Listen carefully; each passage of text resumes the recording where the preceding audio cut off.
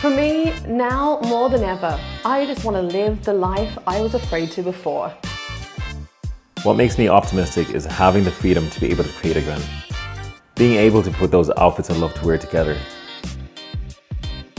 I'm not going to sweat the small stuff.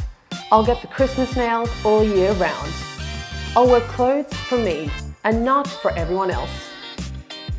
It's experimenting with different types of looks that really push my style and my creativity. That's something I really missed out on doing this past year. I'll get that tattoo I've been imagining for years, and I won't put so much pressure on myself. It's being able to flex my creative muscles as a creative director and working with like-minded people.